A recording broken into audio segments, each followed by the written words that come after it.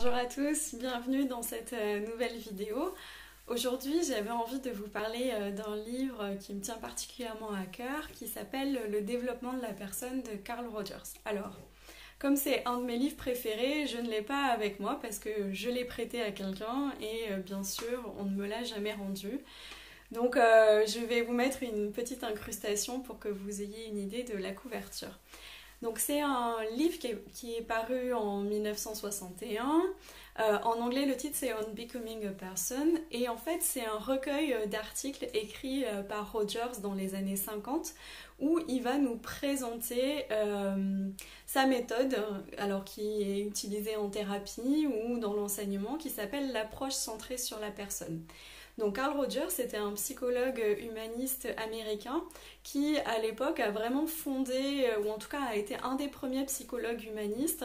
Et en allant à contre-courant des deux grands courants de psychologie à l'époque, euh, le courant euh, comportementaliste et le courant psychanalytique.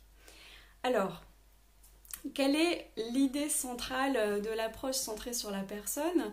L'idée centrale, c'est qu'il est possible à travers une relation. Alors une relation généralement avec un facilitateur qui peut être un thérapeute, un enseignant ou, un parent. Il est possible à travers cette relation de créer des conditions favorables qui vont permettre de faire émerger le soi ou de, qui vont permettre en fait le développement de la personne. Alors, ces conditions favorables, ce sont en fait la sécurité et la liberté dans la relation si on, expérimente une relation qui nous permet euh, d'être à la fois en sécurité et libre, en fait, ça va permettre à la personne euh, de faire des expériences, d'expérimenter, euh, d'apprendre à accueillir toutes les facettes de sa personnalité et de grandir l'hypothèse centrale euh, de l'approche centrée sur la personne et qui est euh, assez différente par exemple du postulat psychanalytique, c'est qu'en fait chaque personne euh, recèle en, son, en son sein, en son cœur, un noyau qui renferme tout un tas de potentialités euh, et qui va euh, se développer de manière positive. Et ce noyau, il ne demande qu'à croître. Donc c'est vraiment la métaphore de la petite graine, la graine qui, n'attend que les conditions favorables pour pouvoir grandir et, euh, et pousser dans le monde. Donc l'approche centrée sur la personne, ça va consister en fait à mettre en place ces conditions favorables. Alors, quand est-ce qu'une relation euh, qui permet la sécurité et la liberté naît-elle? Alors, il y a plusieurs conditions. La première, c'est tout d'abord que le facilitateur soit transparent avec euh, ce qu'il ressent, avec les émotions qu'il ressent et avec euh, ce qu'il vit, et qu'il puisse communiquer en accord avec ce qu'il ressent. Donc, il est transparent. il ne se cache pas derrière une certaine réserve ou froideur. Euh, et cette posture euh, du facilitateur, ça s'appelle la congruence, le fait d'être aligné, en accord avec ce que l'on ressent et ce que l'on vit. La deuxième, euh, condition, c'est le regard positif inconditionnel. Le facilitateur va porter un regard de ce type-là sur la personne. Il est convaincu que la personne porte en elle des potentialités pour se développer de manière très positive. La troisième condition, c'est l'empathie. Le facilitateur va être capable de comprendre ce que vit la personne, il, la comprend à travers ses propres yeux à elle et à travers son système de croyances et de valeurs. Euh, donc il est capable vraiment de la comprendre avec un niveau de, compréhension en général que, l'on n'a pas tous les jours dans, dans, la vie de tous les jours. Euh, la personne va se sentir comprise et acceptée.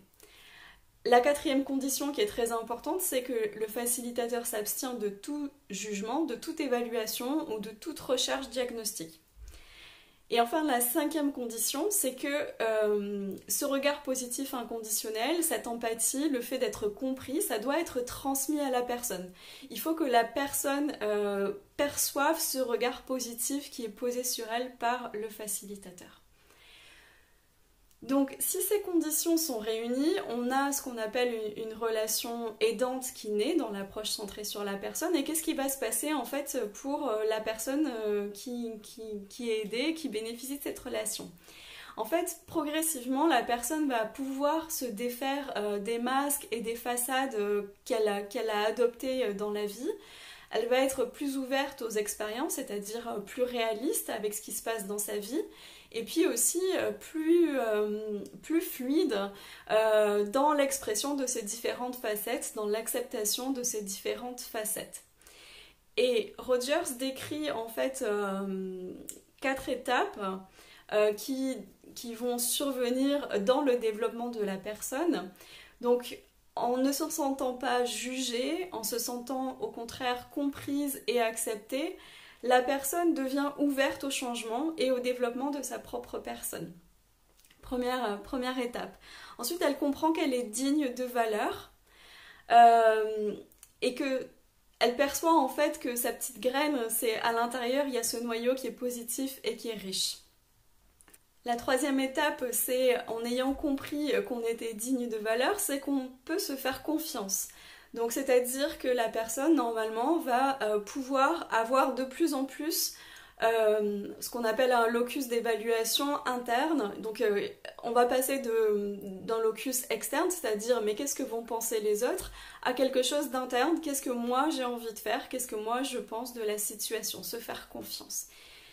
Et enfin, dernièrement, en fait, la personne comprend que ce changement, ce développement de la personne, c'est un processus, ça va être quelque chose de continuel, c'est euh, l'image d'une rivière, hein, quelque chose de dynamique tout au long de la vie. Il n'y a, euh, a, pas un moment où on aura atteint le développement de la personne, le stade d'une personne développée, c'est vraiment un processus continuel et que ce processus, il est enrichissant.